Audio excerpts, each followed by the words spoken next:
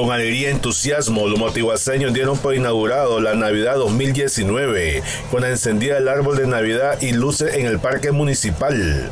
Celebrando nuestro lanzamiento de nuestras fiestas navideñas 2019 en amor, en familia, en unidad, celebrando en nuestra cancha del parque municipal, unidos todos los matiguaceños, haciendo ese orgullo nicaragüense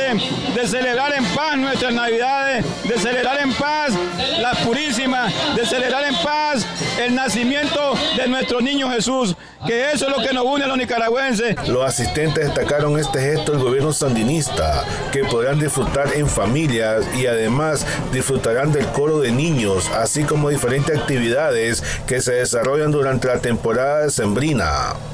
unas fiestas navideñas que en este año 2019 en paz, en alegría, en hermandad, en familia, en comunidad. Solo con un gobierno de unidad y reconciliación nacional es posible una fiesta tranquila, en paz, porque es un mandato de nuestro gobierno de que las familias nicaragüenses puedan divertirse sanamente, gracias a esa seguridad que nos brinda nuestra Policía Nacional, gracias a esa estabilidad económica que ha ido impulsando nuestro gobierno de unidad y reconciliación nacional.